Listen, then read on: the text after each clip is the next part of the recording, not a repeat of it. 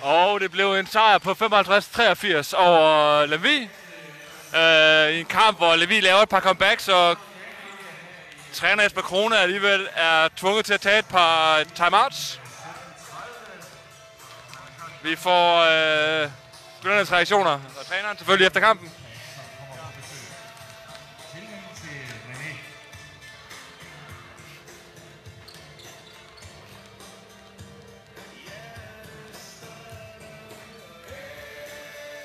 I kampen var vi stadig uden øh, Alessa Raider her i øh, billedet, og øh, Britt Uder, som oven i købet er syg i dag. Øh, vi håber selvfølgelig at have, på at have dem med rigtig snart.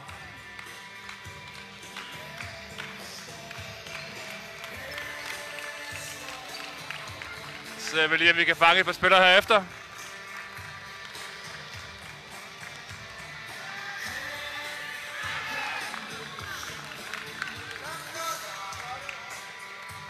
Sydney, I'm going to have to talk to you. So, uh, another day at the office, 30 points and a bunch of rebounds.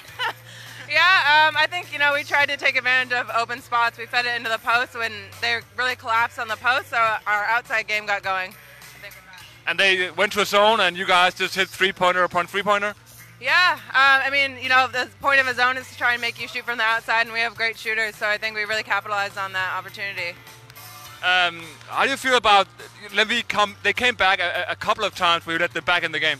Yeah, I mean, I think we kind of got comfortable in our lead and kind of didn't give 100% effort, especially on defense. We stopped talking and they got, you know, switches and stuff like that. So we once we tightened that back up, second half, we, we went away with it. So big congratulations and thank you. Thanks.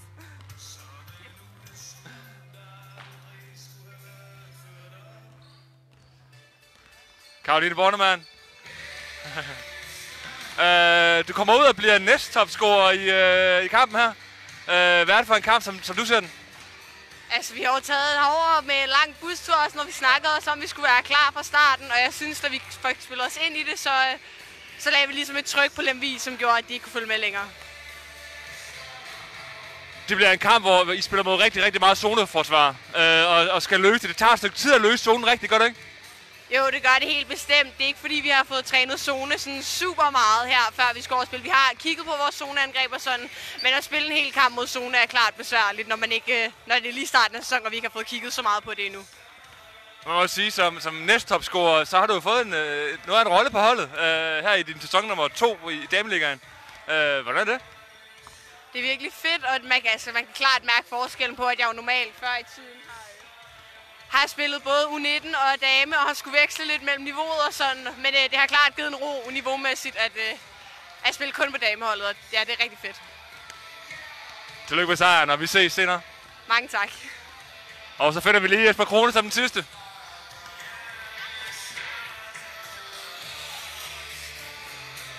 Jesper, han læser lige statistikker, men han får ikke lov at slippe her.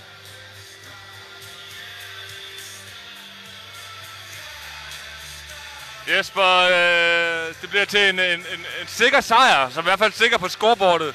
Men øh, du er alligevel nødt til at tage nogle tamas i løbet af kampen. Sidst i første halvleg, sidst i anden halvleg, hvor vi begynder at lave nogle comebacks. Jamen altså, øh, vi, øh, vi øh, slækker en lille smule på, på forsvaret, men jeg tror faktisk, det kommer af, at vi smider nogle bolde væk i angrebet, der så gør, at vi ikke er lige så, øh, lige så hvad hedder det, øh, lige så meget på plads i, øh, i forsvaret. Og, øh, og det gør, at de kommer krybende en lille smule. Men det vigtigste for, for os, det er, at tingene fungerer, når vi spiller, uanset hvad der står på scorebordet.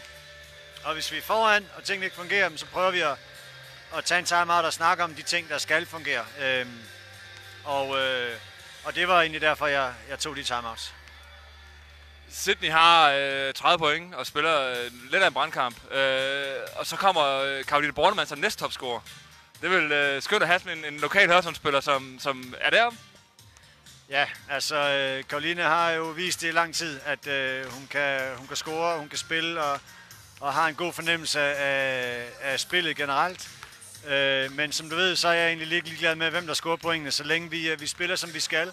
Og i dag rammer Karoline, i dag rammer Sandra. Øh, men vi, vi spiller en fornuftig kamp, når vi har tempo i vores angreb.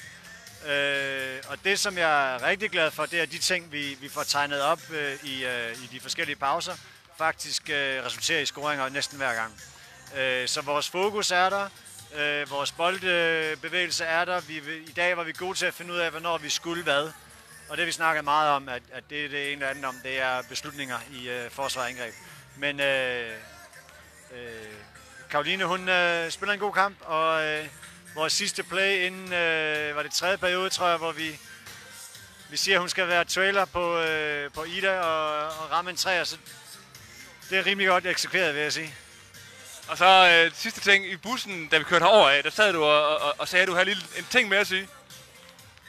Ja, altså noget af det, som, som jeg har kunnet mærke i de første to kampe her, det er, øh, øh, jeg synes dommerne er helt vildt gode til at lægge en linje og følge den hele kampen.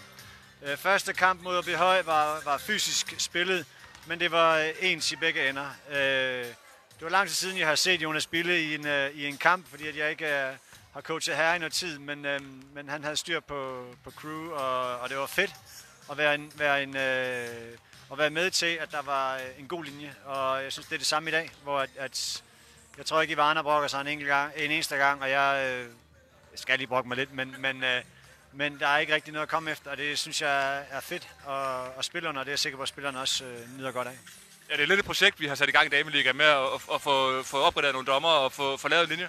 Ja, og det, øh, altså i hvert fald de to kampe, vi har spillet, har det, øh, har det været tydeligt, at det har hjulpet.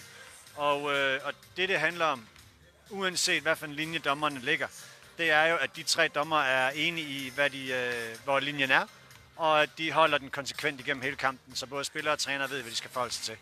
Og for os i de to kampe, der har det virket rigtig fint, og det er både fedt for mig og spillerne. Jesper, tak for det. Tillykke med sejren. Tak, og selv tak. Og vi siger tak fra øh, arenaen her i Lemvi. Og øh, vi ses naturligvis på onsdag øh, til hjemmekamp i Hørsomhallen, hvor det er BMS Herlev, der kommer på besøg.